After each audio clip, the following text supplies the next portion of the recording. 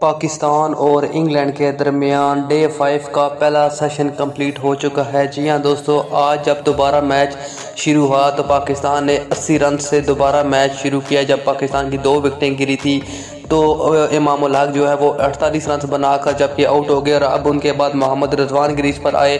मोहम्मद रजवान ने अच्छी करकर्दगी का मुजाहरा दिखाते हुए दो छक्के, पाँच चौके लगाए और बयालीस रन की तबाहकुन बैटिंग कर डाली, जबकि उनका साथ दे रहे थे सऊद शकील। उन्होंने तिरसठ रन की शानदार इन्हें खेली, दस चौके लगाए और एक सौ बत्तीस बाल का सामना किया।